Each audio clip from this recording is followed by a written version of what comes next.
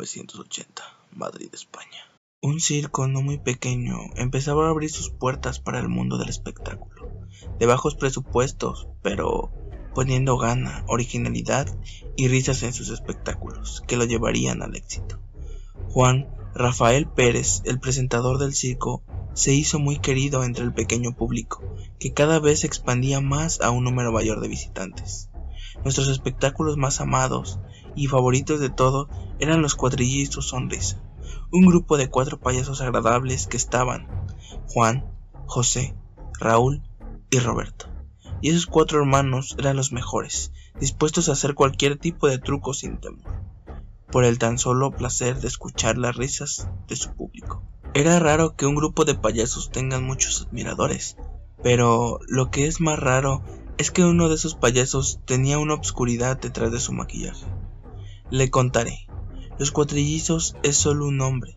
En realidad son trillizos. Juan, José y Raúl eran trillizos, pero Roberto no es familiar. De ellos ni jamás se conocieron antes de entrar al circo. ¿Cómo llegó el payaso Roberto aquí?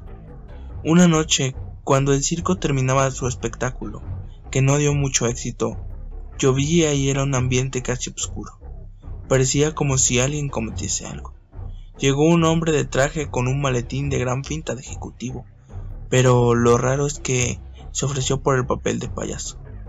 Platicamos un rato y lo contraté. Le di un camerino para que pudiera dormir ahí.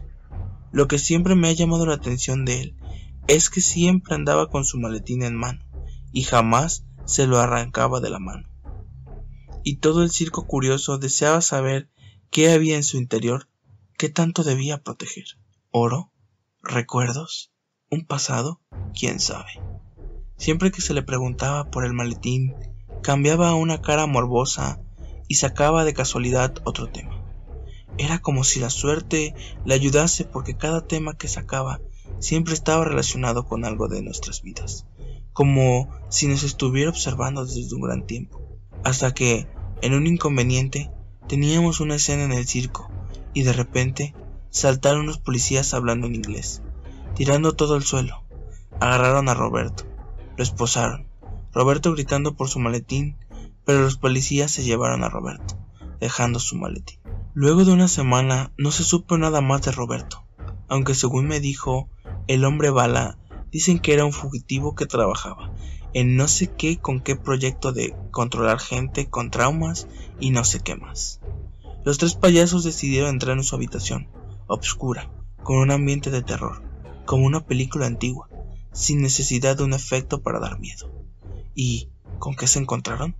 Exactamente, con el mismo maletín oscuro, con polvo. José lo tomó y lo abrió con gran fuerza, que al abrirlo cayó de su contenido a la alfombra.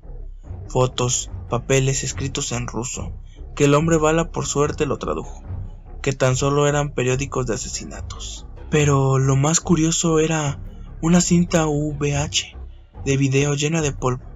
La pusimos, no podíamos creer lo que era. Era un video, un carrusel clásico con una música algo intimidante, un flash en la pantalla, un muñeco moviéndose tenebrosamente. Y luego, lo peor de todo, la imagen de un cuchillo cortando una cara por la boca haciéndole una sonrisa. Unas imágenes pasadas de tan velocidad que hasta poniendo pausa no las podíamos ver. Luego, un niñito durmiendo en una cama, y su cara cambió, un grito, luego estática, eterna. Nos quedamos choqueados al verlo, y luego de verlo, ya todo no fue como antes. En un truco de los payasos, José se torció el cuello llevándolo a la muerte. El hombre bala murió asfixiado dentro del cañón. La mujer gorda de un infarto, como si esto trajera una serie de mala suerte. Con todos los hechos sucedidos decidí cerrar el circo para siempre. Nadie habla más de él ni en internet se encuentra un artículo sobre el circo. El mismo video lo conservaba hace unos años de escribir esto, pero una vez que entré a mi hogar, la puerta estaba abierta. Saqué mi arma, ya que trabajaba de seguridad frente a un mercado. Entré y el maletín estaba. Lo abrí y había un papel, tan solo cuatro palabras en él. El payaso te observa. Bajé el papel y en mi ventana estaba Roberto bajando por la escalera de incendio. Jamás lo volví a ver aunque a veces me siento vigilado. Después de esto vi un video mismo de la cinta, pero en internet. No sé quién lo habrá creado, pero es un montaje bastante acercado. ¿Será Roberto? ¿Será alguno de los trillizos haciendo un montaje? No lo sabré ni me interesa saberlo.